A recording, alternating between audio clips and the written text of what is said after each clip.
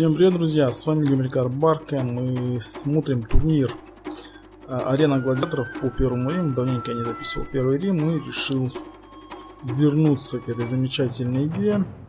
Будем смотреть сегодня мой бой против Нермина из клана Йов. Фракции мне в третьем раунде турнира Гладиаторов достался Рим. Нермину достался Карфаген.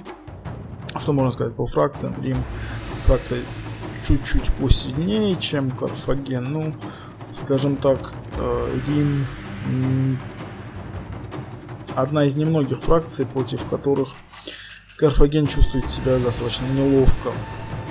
Начнем с составов. Я взял на этот бой 6 отрядов претарианской кавалерии, 5 знаков прокачаны, то есть золотая атака, серебряная защита, 4 отряда а, городских когорт без прокачки, само собой. А, два отряда вспомогательной кавалерии, это дротикометатели, 6 лучников в золоте и 2 отряда крестьян.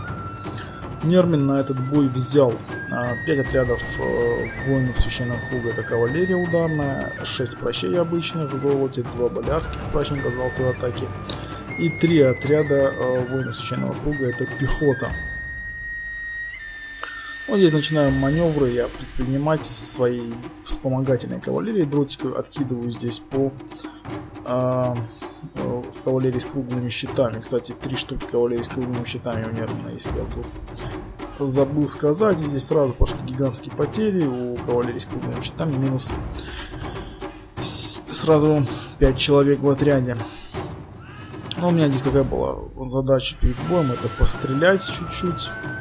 А, Карфаген. Ну, не чуть-чуть, а именно задача была как следует подрастрелять Карфаген, э, выиграть тактически игру, заставив противника идти вперед, э, а самому в этот момент маневрировать и выцеплять какие-то отколовшиеся части карфагенской армии. Ну, здесь пытается Нермин а, своей пехотой поддавливать, мешать моим стрелкам стрелять. Но здесь зачем-то завязался в бой своим отрядом а, воинов священного круга с, моей городской, с моим крестьянином. Тут же он был отогнан городской когортой. Ну, вот здесь я совершаю ошибку своей когортой. Зачем-то я его так вот криво как-то поставил. Действую на нерву здесь вспомогательной кавалерии, откидываю дротики в попу по э, карфагенской коннице. Ну, пытаюсь здесь как-то нейтрализовать болярских прачников, потому что очень-очень противные ребята. Я как раз таки на них концентрирую свой огонь. Мой план как раз таки, ну я только что говорил, в чем он заключался, перестрелять э, Карфаген. Но за счет того, что у Карфагена банально больше стрелков, сделать это достаточно мне было тяжело, поэтому я решил потратить свою дротиковую кавалерию легкую именно на то, чтобы э, как-то э, постараться прогнать, убить вражеских стрелков, потому что все-таки э, тот, кто побеждает в перестрелке, получает определенное тактическое превосходство над противником. И начинаю я здесь э, гонять стрелков и поддавливаю своей пехотой, своими городскими когортами. У меня на один отряд пехоты больше, моя пехота, она в ближнем бою убивает карфагенскую пехоту, поэтому я вот так вот э, давлю пехотой, здесь кавалерией э, пытаюсь зайти во фланг. Здесь вот создается очень опасная для меня ситуация, потому что вот здесь чарджа я мог очень много э, войск потерять, поэтому я начинаю отводить свою кавалерию. Ну, это ну, нельзя сказать, что это отступление, это тактическое отступление для того, чтобы успели подойти остальные отряды моей кавалерии, для того, чтобы не получилось что я сливаю войска по частям, отступил, войска мои кавалерийские подошли достаточно близко, и после этого я завязался в ближний бой уже с основными э, силами Карфагена. Удается здесь вынести отряд Боляров. Очень большие потери мы нанесли здесь отряду э, кавалерии.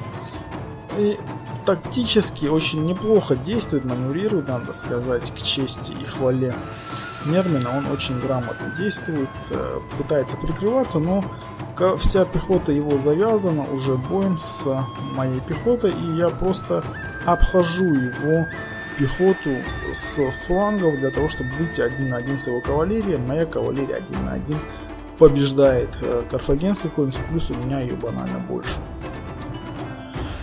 Итак, обошел я пехоту, завязался здесь уже бой с э, моя тяжелая кавалерия против тяжелой кавалерии Карфагена. Идут массовые чаржи, удары, здесь пытается своей пехотой Нервин себе помогать. И вот здесь а, начинается уже а, нудный и затяжной бой в ближнем бою. Здесь на мою полю сыграл тот момент, что э, атака по кавалерии Карфагена пошла через кучу-кучу-кучу стрелков э, Карфагена, и мне удалось в этом моменте не только э, поистрепать силы э, карфагенской кавалерии, но еще и нанести серьезный вред стрелкам Карфагена. Бои здесь дальше продолжаются. Уничтожена также и пехота Карфагена. У меня же остается...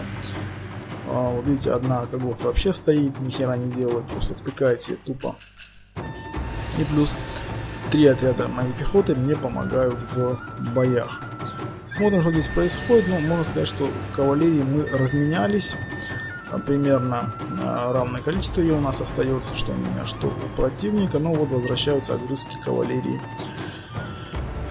э, Карфагена, и поэтому я принимаю решение немножечко отступить поближе к своим войскам, добить те карфагенские войска, которые остались вот здесь вот в тылу, э, добить их, поуничтожать их, чтобы они, конечно, не создавали мне головную боль. В общем, э, произвожу перегруппировку войск, здесь попытка идет убить моего генерала, я его стараюсь как можно быстрее вывести к, в тыл к своим войскам и начинаю уже поддавливать пехотой остатки карфагенской армии. Смотрим, что осталось у Нермина. А у Нермина остался раз-два, два проща, один отряд воинов священного круга и э, несколько огрызков конниц. Вот, собственно говоря, и все. Добивается здесь Балиар.